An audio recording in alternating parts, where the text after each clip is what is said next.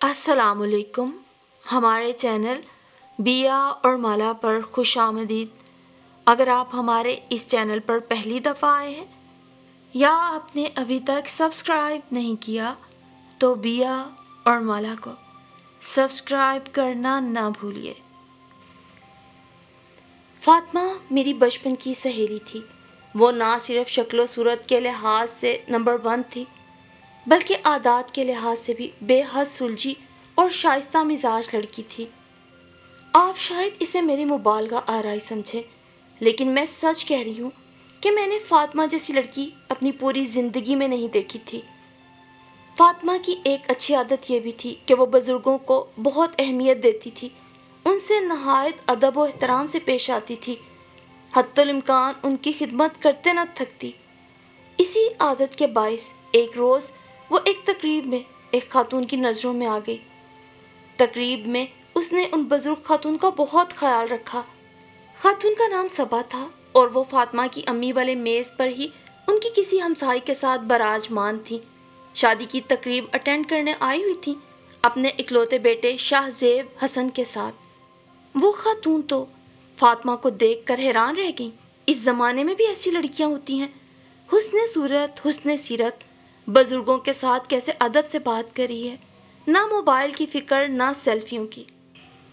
खाना लगा तब भी उसने एक एक खातून का ख्याल रखा। किसे क्या चाहिए? किसे पानी चाहिए? किसे बोतल चाहिए? किसे सलाद? किसे रायता? अगरचे सारा खाना मेज़ पे लगा था। फिर भी फातिमा एक एक से बार बार पूछ रही थी। और फातिमा ये सब दिखावे के लिए कर भी नहीं रही थी। ये तो उसकी बचपन की आदत थी। उसके घर कोई आ जाए या वो किसी के यहाँ चली जाए, उसे लोगों को अहमियत देने की एक अजीब अनोखी सी आदत थी। जहाँ जाती, सबका दिल जीत लेती, वो थी ही ऐसी। सबा बेगम खामोश नज़रों से उसका मुशाहिदा करती रहीं और दिल ही दिल में उन्होंने पुख्ता इरादा कर लिया कि वो अपने बेटे शाहजेब की शादी हर सूरत इसी लड़की से करवाएँगी। इस लड़की के आने से उनके सोने घर में बाहर आ जाएगी और ऐसी लड़कियाँ तो चराग लेके ढूंढे से भी नहीं मिलती। शादी की तकरीब के बाद जब वो अपने घर लौटी तो अपने बेटे के सामने फातिमा की बेहद तारीफ़ की और उसे अपने इरादों से भी आगाह किया। लेकिन नई ज़माने की ये नौजवान नस्ल माँ बाप की कहाँ सुनती है? वो बोला, अम्मी जान, जिस लड़की से भी आप मेरी शादी करेंगी, मैं पहले उससे मिलूँगा। अगर वो मेरे दिल को भाई तभी मैं उससे शादी करूँगा, वरना नहीं। मेरे देखे भाले बगैर मेरी शादी मत तय कीजिएगा, वरना उम्र भर आपको पछताना पड़ेगा। माँ ने इन बातों को एक नासमझ नौजवान की नामाकुल ख्वाहिश करार दिया और कहा, शाहजेब बेटे, कौन माँ बाप ऐसे होंगे जो इस बात की इजाज़त देंगे कि उनकी बेटी शादी से कबल किसी गैर आदमी से मिले? फ़र्ज़ करो माँ बाप इस बात पे मान भी जाएँ और वो लड़का जो शादी से पहले लड़की को देखने का ख्वाहिशमंद है। लड़की को पसंद ना करे तो उसके दिल पे क्या गुजरेगी?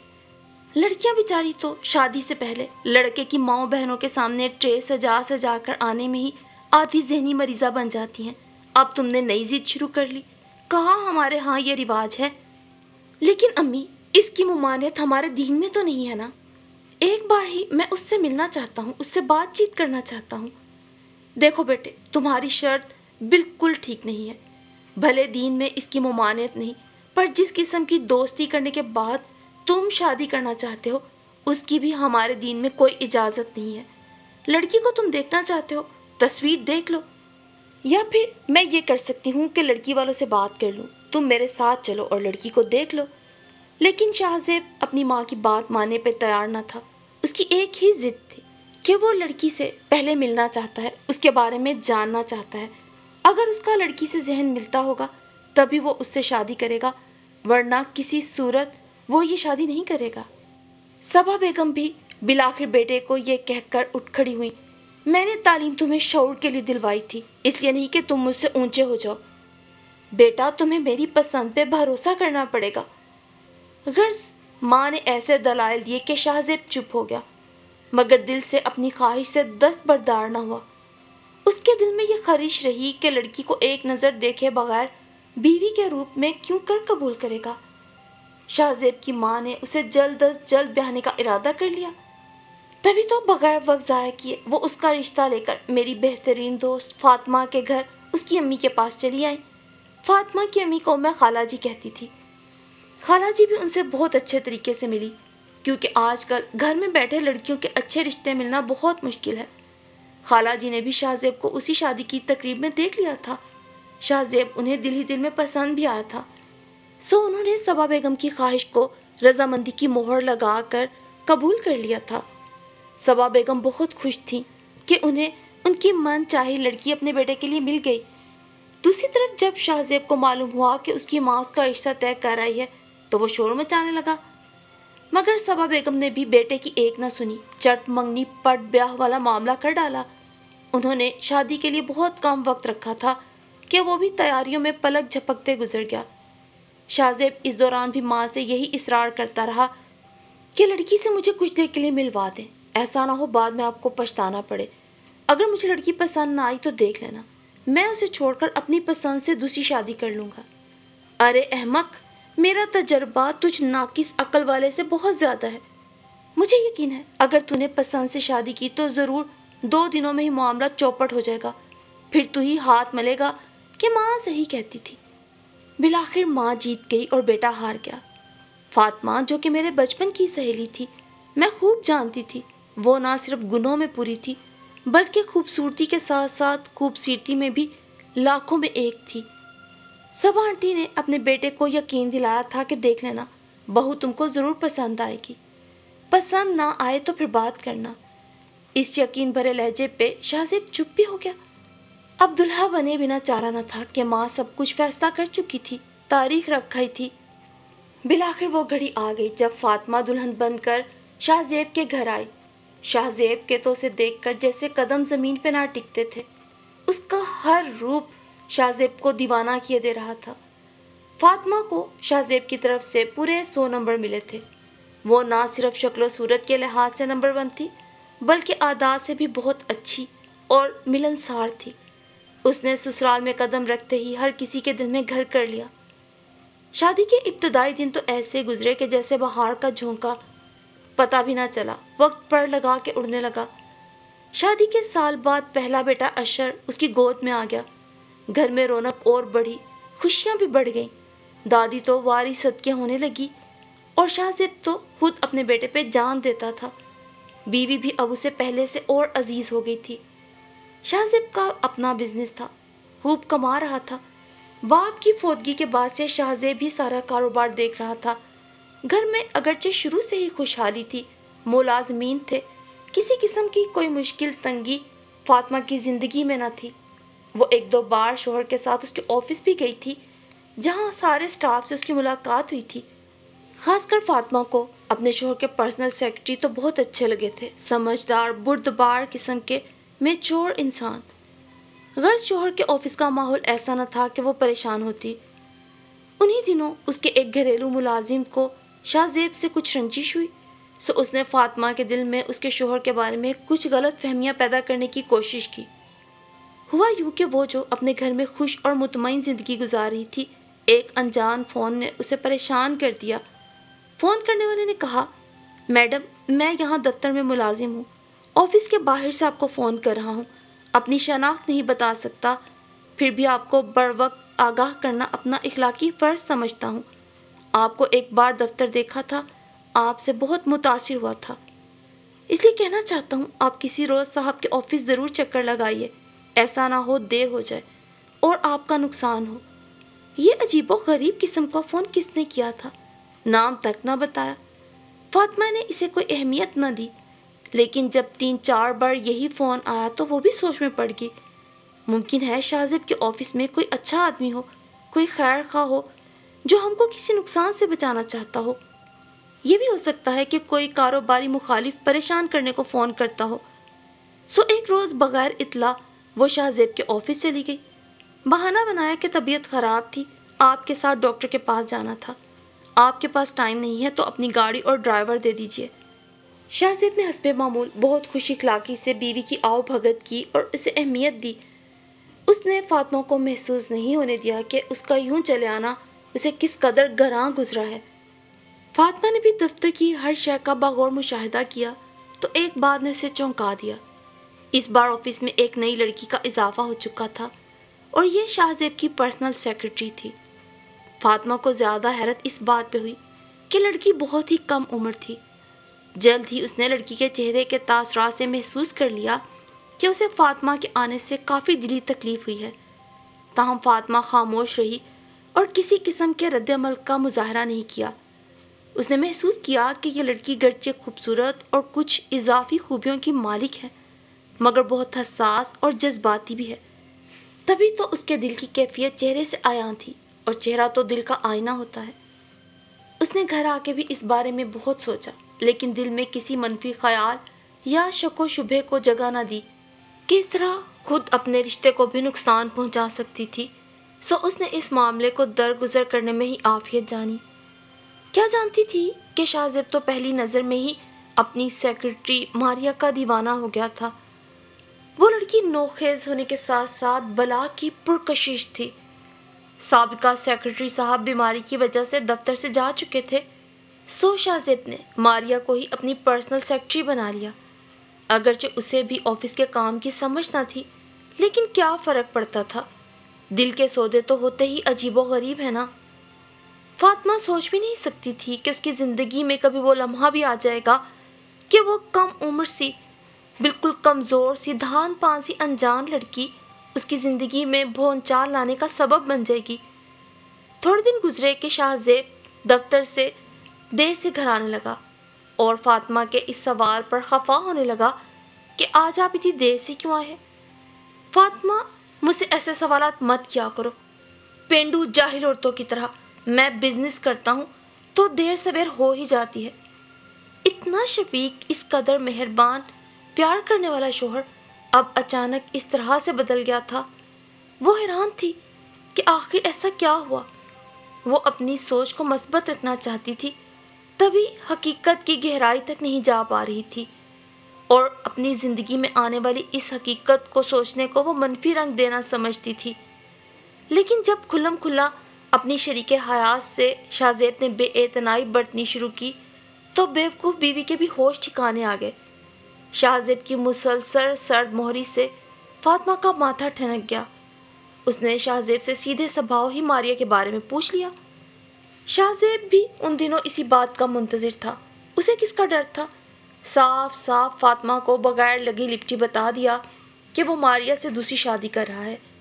ये भी कह दिया कि तुम्हें यहाँ रहना है तो रहो। मैं तुम्हारे तमाम हकूक पूरे करूँगा, कोई कमी नहीं छोड़ूँगा। और अगर नहीं रह सकती तो तुम आज़ाद हो, जहाँ चाहो जा सकती हो। ये बातें फातिमा के दिल पे तीर की तरह लगी, ताहम वो तहमुल से सुनती रही। ना रोई, ना पीटी, ना चीखी, ना चिल्लाई। बस हैरत से शाहजेब की शक्ल देखती रही। सुबह हुई तो उसकी आँखें सूजी हुई थी। सबा आंटी ने पूछा, क्या बात है? क्या हुआ फातिमा? तबीयत तो ठीक है। ये तुम्हारी आँखें क्यों सूजी हुई हैं? अपने बेटे से पूछिए, वो दूसरी शादी कर रहे हैं। उसने भी बिना लगी लिपटी उन्हें सीधा कह दिया। सबा आंटी ने बेटे की खबर ली, मगर वो अपनी बात पे अड़ गया। इस पर वो भड़क गई। शाहजेब कुछ तो खुदा का खौफ करो। ऐसा तो कभी हमारी पिछली सात पुश्तों में नहीं हुआ।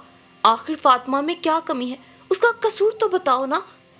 पहली बीवी में कोई कमी हो तो तुम दूसरी शादी का जवाब भी खड़ो। अम्मा, दूसरी शादी गुनाह नहीं है। हमारे मज़हब में तो चार चार जायज़ हैं। मैं दूसरी करके कौन सा अनोखा काम कर रहा हूँ? आपसे मैंने पहले ही कहा था कि मेरी शादी जिस लड़की से तय करें, मुझे पहले उससे मिलवा दें। मैं अंडरस्टैंडिंग के बाद ही उससे शादी करूँगा, वरना फिर मैं दूसरी शादी ज़रूर कर लूँगा। अब मुझे एक ऐसी लड़की मिल गई है, जो हर लिहाज से मुझे पसंद है। वो बिल्कुल वैसी है, जैसी कि मेरा आइडियल होती है। आपकी पसंद की लड़की इस घर में अगर बहू बन के आ सकती है तो मेरी मोहब्बत क्यों नहीं? सबा आंटी, जो फातिमा से बहुत प्यार करती थी, बेटी की लन तरानियाँ सुन के रोने लगी। फातिमा भी रो रही थी। मगर इन दोनों औरतों के आंसुओं का शाहजेब पे कोई असर नहीं हुआ। उसने कहा, माँ, मैं कोई चोरी छुपे तो शादी नहीं कर रहा ना? आप सबको बताकर एतमाद में लेकर ही शादी कर रहा हूँ और कोई गुनाह नहीं कर रहा जो आप लोगों ने घर में यूँ सोग की कैफियत पैदा कर दी है। उसका बेटा अशर घर की ये सूरत हाल देख के परेशान था। वो बार बार पूछता, अम्मी अबू और दादी जान आप सब क्यों लड़ रहे हैं? कुछ मुझे भी बताइए। कुछ नहीं बेटा, तुम ऊपर अपने कमरे में जाओ। फातिमा ने बेटे का हाथ पकड़ा और ऊपर ले गई। तभी शाहजेब ने माँ के सामने हाथ जोड़ दिए कि उससे खफा ना हो, गुस्सा ना करें। देखें, मैं फातिमा और अपने बच्चे की सरपरस्ती से हाथ तो नहीं उठा रहा ना। उन्हें उनके हकूक पूरे मिलेंगे। अल्लाह का शुक्र है इतना कमा लेता हूँ कि दो घरों का खर्चा आसानी से उठा सकता हूँ। सबा आंटी ने आँसू पहुँच बात ख़त्म की। बेटा, तुम खुद मुख्तार हो। मेरा काम तो तुमको गलती से रोकना था। तुम्हें फातिमा से अच्छी बीवी नहीं मिलेगी। नई लड़की चार दिन की चांदनी की तरह होगी। ये बात याद रखना, शादियाँ भले चार जायज़ हैं, लेकिन सुकून एक ही घर में मिलता है और दुनिया की सबसे कीमती शय सुकून ही है। और दो बीवियों से मर्द को कभी भी सुकून नहीं मिलता। एक और बात, गौर से सुन लो। मेरी बहू हमेशा फातिमा ही रही है। और रहेगी। मैं किसी दूसरी को उसकी जगह नहीं दे सकती। ये कोठी मेरे नाम है। तुम्हारे वालिद ने तमाम जायदाद और रुपया, पैसा, गाड़ी बिज़नेस सब मेरे नाम पे कर रखा था। मैं सब अपनी बहू के नाम कर रही हूँ।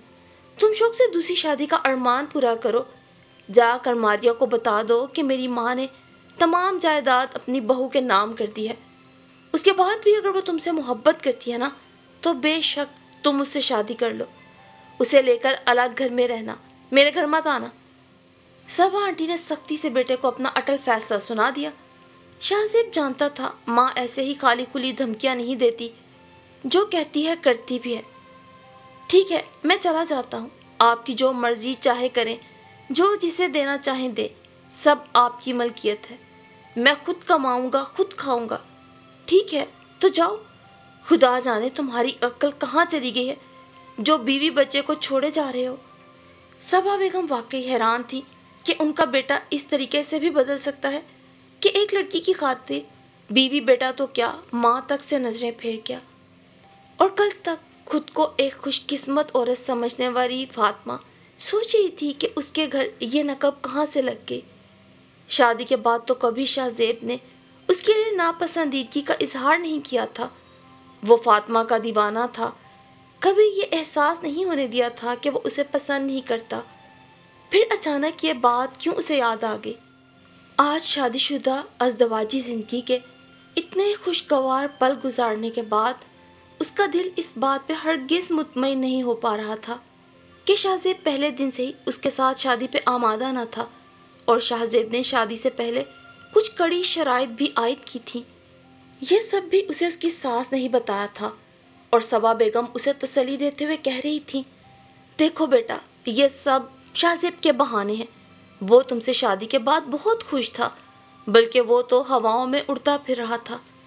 इतने सालों में तो उसने कभी भूले से भी इस बात का ज़िक्र नहीं किया कि उसकी शादी उसकी शराय माने बगैर की गई है। आज इस कम उम्र लड़की ने जब उसे अपने जाल में अच्छे से फांस लिया है ना तो ये सिर्फ़ और सिर्फ़ दूसरी शादी करने के लिए ये उसने एक झूठा और बेबुनियाद जवाब ढूंढा है। मैं उसकी बात से बिल्कुल भी कायल नहीं हूँ। तुम भी अपने दिल को मुतमिन रखो। तुम में ऐसी कोई कमी नहीं है। ये सब उसकी नीयत का फतूर है। कल को मारिया के साथ रहते, उसकी किसी और लड़की के साथ अंडरस्टैंडिंग हो गई तो क्या फिर तीसरी शादी करेगा? बस फिर तो समझो चल पड़ा काम। सच है, मर्द का एतबार नहीं किया जा सकता। कभी भी कोई भी औरत उसे भा सकती है। और उसके दिल को लुभा सकती है। ऐसे में अगर वो शाहजेब की तरह कमज़ोर होगा तो दूसरी, तीसरी, चौथी शादी से भी गुरेज नहीं करेगा। वो मर्द जो एक औरत के बाद दूसरी औरत में सकून तलाश करता है, दर हकीकत तमाम उम्र बेसकून ही रहता है। कुछ यही अंजाम शाहजेब की दूसरी शादी का भी हुआ। वो मारिया के साथ दूसरी शादी करके हवाओं में उड़ता फिर रहा था जल्द ही ज़मीन पे आन गिरा। मारिया की ख्वाहिशात की लिस्ट बहुत तवील थी। फातिमा ने तो आज तक उससे कुछ भी ख्वाहिश नहीं की थी। कुछ मांगा नहीं था। जो था उसमें भी बहुत खुश थी। लेकिन मारिया तो पहले ही उसकी दौलत पे नज़र रखे हुए थी। शाहजेब से उसने शादी भी इसलिए की थी कि वो अपनी तमाम ना आसूदा ख्वाहिशात की तकमील चाहती थी। शाहजेब के पास भी अगर रुपये पैसे की सहूलियात की कमी नहीं थी उसने मारिया को अलग फ्लैट लेके उसमें रखा हुआ था। लेकिन जल्द ही वो मारिया की लालची फितरत को भांप गया था। आखिर को एक कारोबारी मर्द था, मर्दम शनास भी था। मारिया हर वक्त बच्चों की तरह फरमाइशें करने की आदि थी। घर में खाना पकाने, सफ़ाई सुथराई या घरस्ती का तो अभी उसे शोर भी नहीं था। जबकि शाजिब की ज़िंदगी में पहले सबा बेगम और फिर फातिमा, दो ही औरतें आई थीं। और दोनों बे इंतहा सुघर बे इंतहा सलीकामंद और घर घरस्ती के अमूर में ताक थी। बे इंतहा मुलाजमीन होते हुए भी दोनों खवातीन की अपने घर पे भरपूर तवज्जो थी। एक माह में ही जैसे शाहजेब मारिया से बेजार होने लगा। घर में दाखिल होता तो कोई भी चीज़ अपने ठिकाने पर ना मिलती। बिखरा हुआ, उलझा हुआ घर। दूसरी तरफ़ सजी संवरी नित नए डिज़ाइनर सूट पहने तैयार हुई मारिया हर रोज़ किसी नई जगह खाने की फरमाइश लिए बैठी होती। शुरू शुरू में ये चौंचले अच्छे लगते हैं, लेकिन वक्त गुजरने के साथ ये सब आसाब पर एक बोझ की तरह होता है। इसके बाद फिर जब शाहजेब एक माह बाद घर आया तो मारिया से शादी कर चुका था। उसने आते ही ऐलान कर दिया कि मारिया उसकी बीवी है और फातिमा को हर हाल में उसकी दूसरी शादी को कबूल करना होगा। फातिमा के पास भी क्या चारा था? एक माह उसने जैसे तड़प तड़प के गुजारा था। आज वो हर तरह की सूरत हाल को कबूल करने के लिए तैयार थी। सो उसने दिल पे पत्थर रख के शाहजेब की दूसरी शादी को कबूल कर लिया। मारिया, अगर इस घर में भी आके रहना चाहे तो मुझे कोई एतराज़ नहीं। जो शाहजेब का है, वो मारिया को देना चाहें तो भी मैं उफ तक नहीं करूँगी।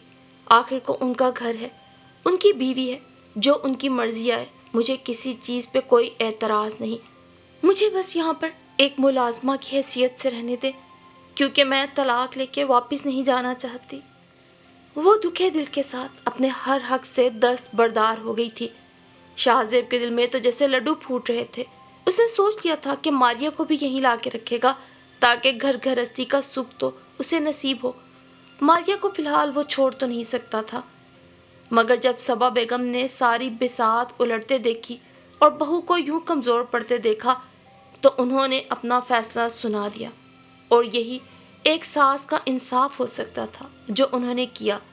उन्होंने अपने बेटे और बहू को से अल्फाज में बता दिया कि उनकी तमाम जायदाद की मालिकन सिर्फ़ और सिर्फ़ फातिमा है।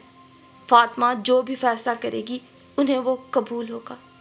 और फातिमा हैरान थी कि कोई सास अपने बेटे पर बहू को भी यूँ फोकियत दे सकती है उसकी आँखों में आँसू थे तो दिल में अल्लाह के हजूर शुक्रगुजारी का एहसास।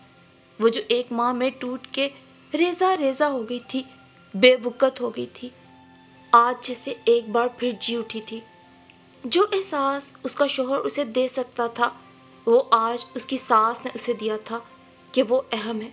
किसी भी शय से बढ़कर, रुपए पैसे से बढ़कर उसकी ज़ात अहमियत की हामिल है।